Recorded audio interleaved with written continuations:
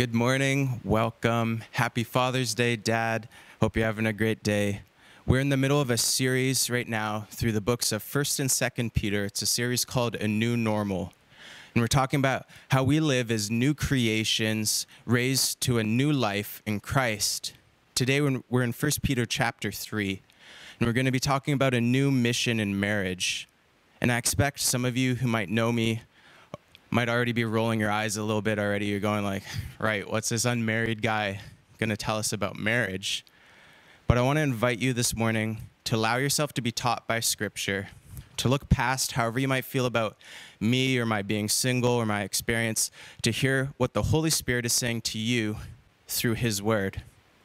The words we are about to read are God breathed. They're in the inspired Word of God 2 Timothy 3:16 says they're useful for teaching, rebuking, correcting and training in righteousness. They are written by a man who learned directly under Jesus and was specifically chosen by him to be an apostle, uh, and yeah, an apostle charged with preaching the revelation of God and establishing his church. These words have been vetted through centuries globally as being in agreement with the rest of Scripture. And they have been guarded by the church locally and globally through trials and persecutions because these words are recognized as being timeless and applicable to all who fear God. In John 17, as Jesus is praying his last prayer before he's taken to be crucified. This is the last thing on his mind. He prays for our unity and he asks that we, the church, would be sanctified by the truth of God's word. So let's read it. 1 Peter chapter 3 verse 1. Likewise, wives, be subject to your own husbands, so that even if some do not obey the word, they may be won without a word by the conduct of their wives when they see your respectful and pure conduct. Do not let your adorning be external, the braiding of hair and the putting on of gold jewelry or the clothing you wear, but let your adorning be the hidden person of the heart with the imperishable beauty of gentle and quiet spirit, which in God's sight is very precious. For this is how the holy women who hoped in God and used to adorn themselves by submitting to their own husbands, as Sarah obeyed Abraham, calling him Lord, and you are her children, if you do good and do not fear anything that is frightening. Likewise, husbands, live with your wives in an understanding way, showing honor to women as the weaker vessel, since they are heirs with you of the grace of life, so that your prayers may not be hindered. One of the key recurring themes in 1 Peter is this idea of our new hope in Christ, our living hope that is imperishable. A few weeks ago, we talked about how our hope directly influences our actions. Everything we do and how we do it ends up pointing right at our hope. And back at the beginning of 1 Peter, we talked about fixing our eyes on this hope on our promised inheritance to find joy amidst trials. As we come into this passage about husbands and wives, we are still talking about that hope. The heart behind this passage, these directions about marriage, is that our hope is in Jesus, not in your spouse. Jesus is your source of joy, the source of meaning and significance. If you're looking to your spouse for joy and significance, if you're expecting another human being to complete you, you're going to be constantly frustrated and disappointed. And you're going to be placing a weight on that person, which will inevitably lead them to be frustrated, maybe even resentful. You're also effectively creating an idol by trying to place your spouse in a role that only God was meant to fill. But your most complete joy comes from living in the purpose God created you for. Psalm 139 says, He knit you together in your mother's womb. He knows you intimately. He knows what is best for you. He knows your true significance, and He leads you to true joy. So when we come to passages like this, this is not about begrudging submission. This is about God, about His glory, And when we are acting for God and His glory, it will be for our joy. Notice in today's passage the repeated use of the word likewise. This is a continuation of what Jeff talked about last week in submitting to authorities. This type of submission is not exclusive to wives, it is a Christian standard. This is even more clear in Paul's direction for husbands and wives in Ephesians 5. He opens by saying, Submit to one another out of reverence for Christ. I know we are tempted to look at people around us and say, They don't deserve my submission. I'm willing to bet there are times when you who are wives don't feel that your husband deserves respect, or you who are husbands don't feel that your wives deserve honor.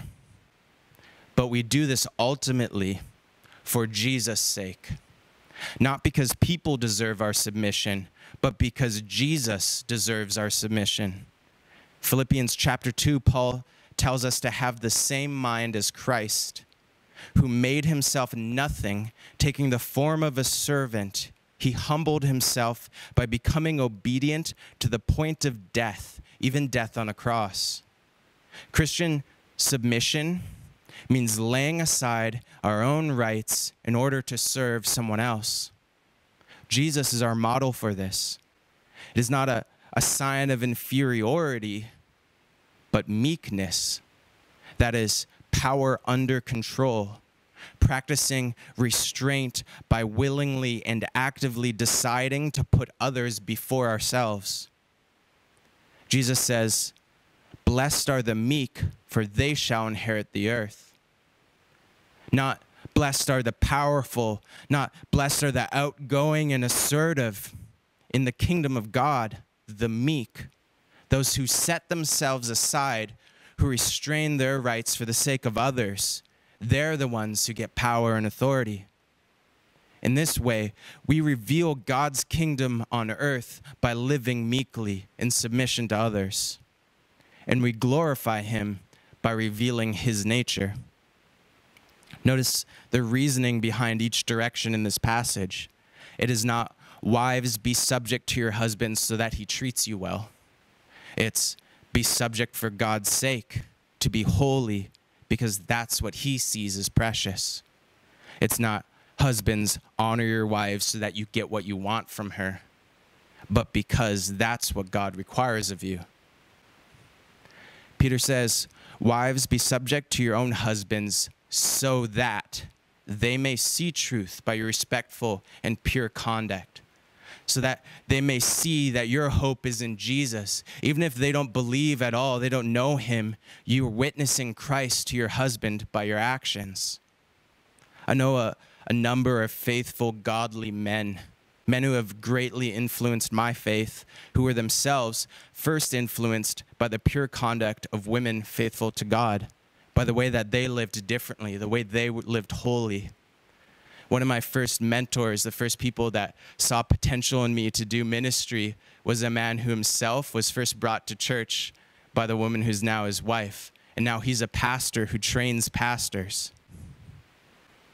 Peter says, Women with a gentle and quiet spirit are very precious to God says, Do not let your adorning be outward, hair, jewelry, clothing. It's not that these things are bad, but they're not your priority. They're not your hope. They're not your value.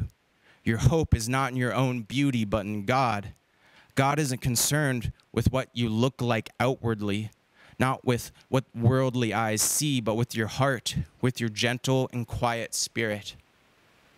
As far as I could find, this is the only time anywhere in Scripture that something is specifically called very precious in the Lord's sight. God has a special love, a special value for women who reflect his weakness, who have a heart posture that reflects his own. Peter says this is what distinguishes holy women. If your actions are following after your hope, if you're seeking holiness, it will be seen in how you respect your husband. Conversely, if you're disrespectful of your husband, that is a mark on your holiness. He uses example of Sarah. He says here that she called her husband Lord. And that probably feels awkward to us because it's not really part of our common vernacular today, saying Lord or Lady. But the principle is speaking in a way that is respectful, that is building up, not tearing down. When Peter says a quiet spirit, he doesn't mean that you're silent, that you never speak, but that you're, you're not degrading, you're not nagging. Proverbs 27, verse 15 says, A nagging wife is like the dripping of a leaky roof in a rainstorm. Proverbs 21:19 says it is better to live in a desert land than with a quarrelsome and nagging wife. It is better for a husband to go die in the desert than to be subject to degrading, demeaning nagging. We know from James that the tongue can corrupt a whole person. Imagine what it can do to your relationships, your friendships, your churches, your marriages. I've heard another pastor say that sometimes Christian wives end up trying to fill the role of the Holy Spirit in their husband's life. You're sitting in a sermon where the pastor says, Husbands, honor your wives. And on the drive home, they're going, You know, he's talking to you, right? That's you. Wives, your goal in marriage is to glorify God, to see your husband reconciled and subsequently sanctified, made holy, not by your work or your conviction, but by that of the Holy Spirit. Your contribution to this is by living in such a way that when your husband looks at you, he sees Christ modeled. He sees the gospel of God who humbled himself for the sake of redeeming us from sin and reconciling us to himself. You preach the gospel to your husbands, not just with words, but with your actions, with your character. Last week, Jeff told us that we should live such good lives that it leads other people to glorify God. In all of our relationships, not just marriage, but as parents and work relationships with your friends. Some time ago, I preached out of Ephesians 6 how parents' primary responsibility in parenting is to disciple their children. We as believers have a responsibility given by Jesus to make disciples. Often Christians throw around this word discipleship as a kind of a buzzword. We make us, makes us sound biblical, but we never really define it. Discipleship is the process of guiding people towards God, guiding people in sanctification. It can look different in different contexts, but the goal is always the same to first see people meet Jesus, be reconciled to him, justified, saved, then to see those people who are justified, then sanctified, continually being shaped into his image. Not conformed to the pattern of this world, but transformed, as Romans says. This process of sanctification can thrive in close relationships. Doing life with someone up close reveals the areas where you are not trusting God. It peels off your facade and reveals your broken, flawed, sinful nature the areas where you are still holding on to your old life of sin. You come face to face with your own pride, your jealousy, your selfishness, your impatience. And then in this, a person who truly loves you will see those areas in you. And they won't shame you for them, they won't nag you and tear you down, but they'll lead you to Jesus. They'll lead you back to your hope, show you how He applies to every area of your life. But that starts with being meek. To have that voice in anyone's life starts with trust and respect. We take direction and correction from people who have respected us, proven themselves trustworthy, people who have built us up and shown genuine care.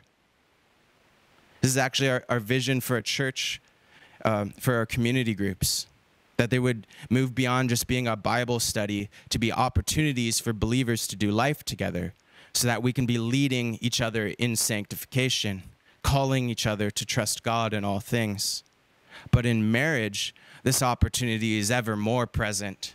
A wife with a gentle and quiet spirit can speak the gospel boldly to her husband.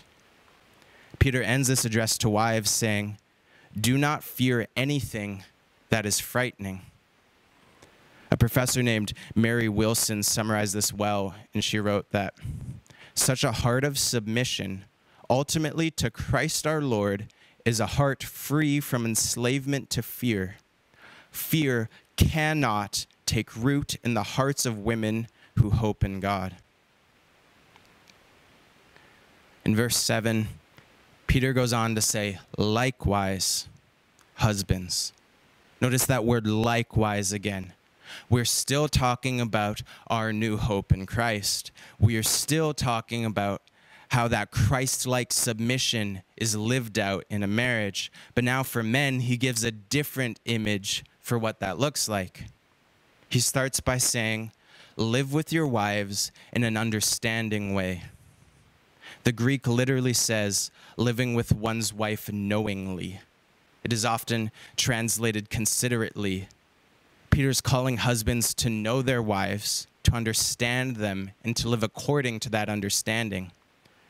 John MacArthur describes this as a husband being sensitive to the needs, fears, and feelings of his wife so that he might subordinate his needs to hers.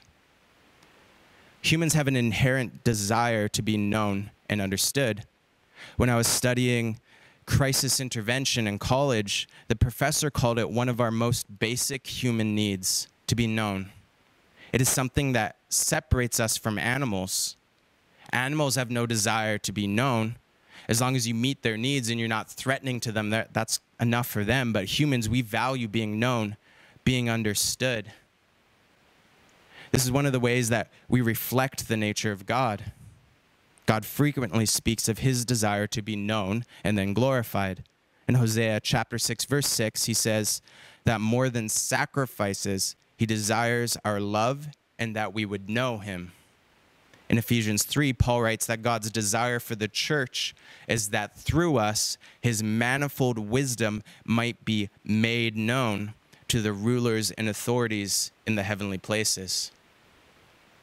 When you know someone, it leads to a response. You've probably heard someone say the phrase, Oh, I'm sure you'd like them if you really got to know them. When we get to know God, when we start to take in how beautiful he really is, how magnificent he is, how holy he is, we see his character, we see his virtues, we see his desires and the things that he hates. When we see him, when we really know him, we know how to respond accordingly. And we will worship and obey.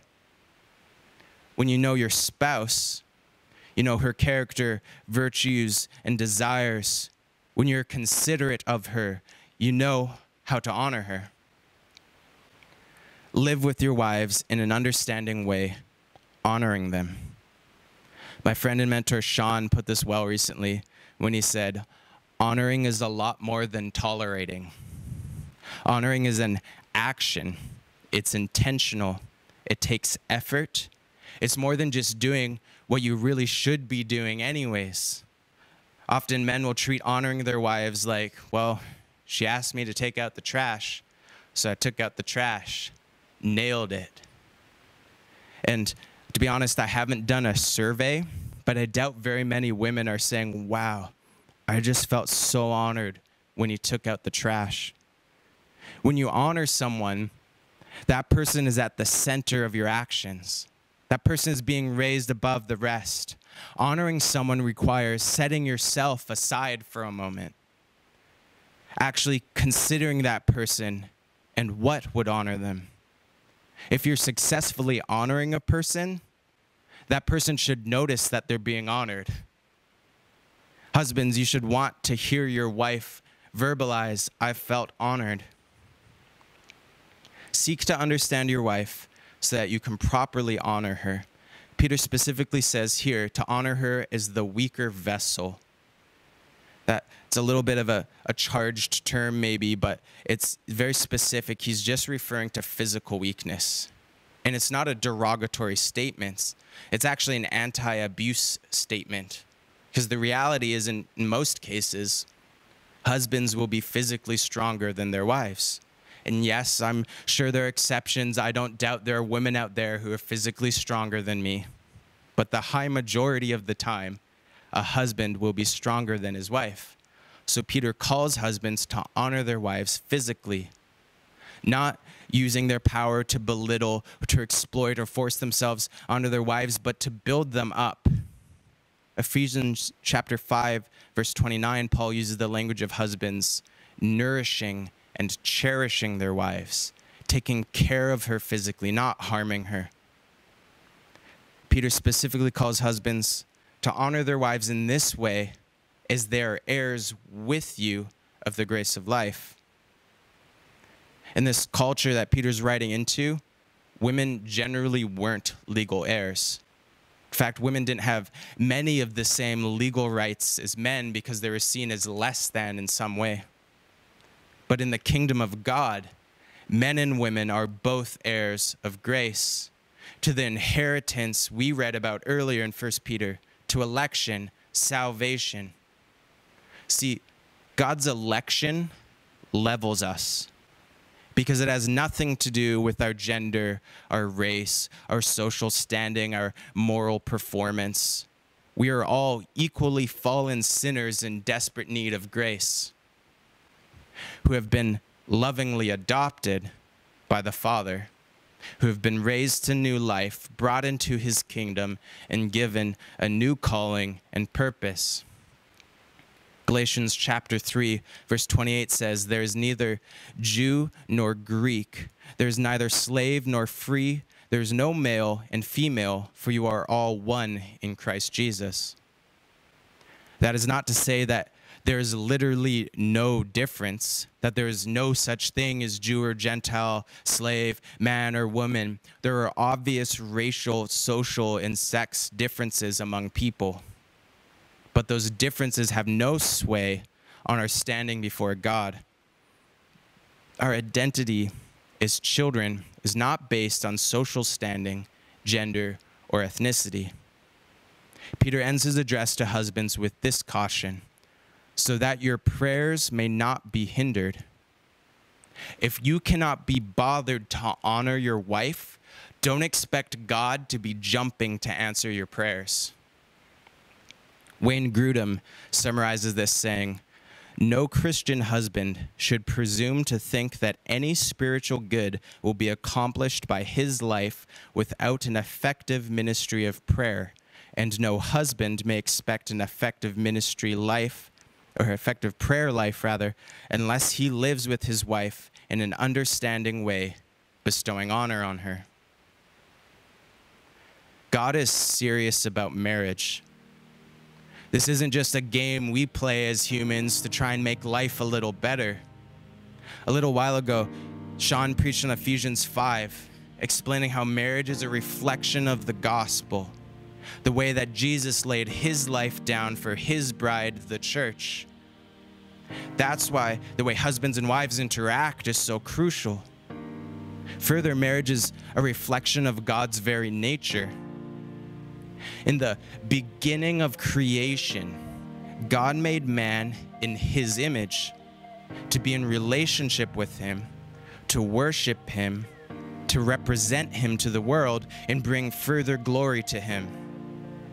The Westminster Shorter Catechism summarizes the chief end of man as to glorify God and to enjoy Him forever. That is the purpose of life. That is why we exist. But the first thing God ever said was not good in all of creation was that man should be alone. Because God is not alone. God is three distinct persons in a perfect relationship, such a perfect community that they are, in fact, one God, a trinity. So if man was made to be in his image to reflect him, man should not be alone. So God makes a helper. That's not a helper to bring him his slippers and a beer while he's watching the game, but a helper in the work of being the image of God of glorifying Him and enjoying Him forever. God made men and women distinct. We're different physically, we have different natures, and we have different roles so that when we come together in marriage, Genesis 2:24 to hold fast to one another and become one flesh. They become a further image of who God is as a Trinity. Three distinct persons who, while equal in essence and attributes, are distinct in their roles, how they relate to one another, and how they minister to creation. The purpose of marriage is to reflect God, to see Him glorified through the reconciliation and sanctification of men and women. As new creations, we have a new purpose in marriage to glorify God and to enjoy Him forever. Hey, LBC, thanks for joining us. Don't forget to stay connected throughout this season. Find different ways to get together, socially distance, connect online, give each other a phone call. We want to stay together in this season. If you are able and wanting to give, you could give at ladnerbaptist.ca/give. Thanks so much for coming today, but don't forget to join us here at LBC for ice cream sandwiches to celebrate Father's Day. Excited to see you guys. See you soon.